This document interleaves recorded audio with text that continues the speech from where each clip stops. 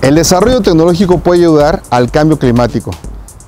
El cambio climático es uno de los mayores desafíos en nuestra época. En los últimos 100 años se ha disparado la concentración de gases de efecto invernadero en la atmósfera, especialmente el dióxido de carbono, metano y óxido nitroso. El calentamiento global, la deforestación, los desastres naturales, el efecto invernadero, la desertificación o el derretimiento de los glaciares son solamente algunos de los peligros que actualmente nos acechan.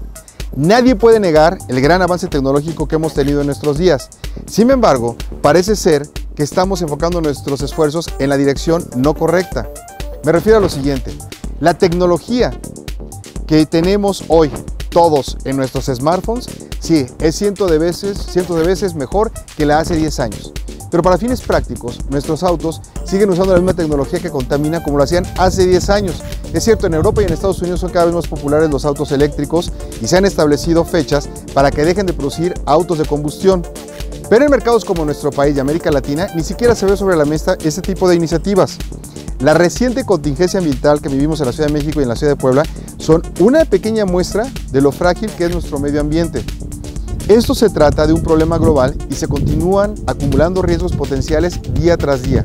Para poder encontrar soluciones reales a estos problemas, se requiere de estudios e información que nos permita tomar mejores decisiones. Una forma de acelerar el proceso es aprovechar las tecnologías del Big Data y el aprendizaje automático. Me explico.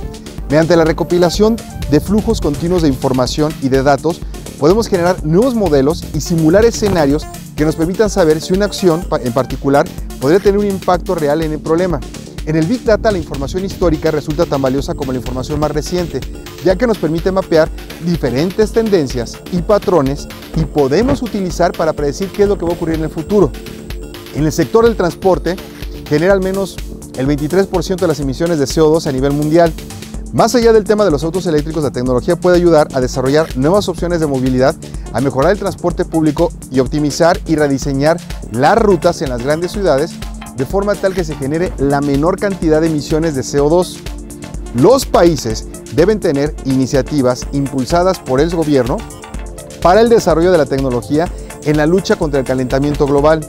Se necesita generar nuevos modelos de negocio que traigan mayores beneficios a empresas y startups que estén dispuestas a trabajar en, trabajar en pro del medio ambiente.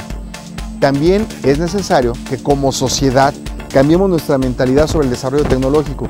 Muchas personas podrían estar dispuestas a pagar más de 25 mil pesos por el último iPhone, pero a ver, esas mismas personas están dispuestas a pagar 20 mil pesos por un dispositivo en tu casa que ayudaría a limpiar el aire.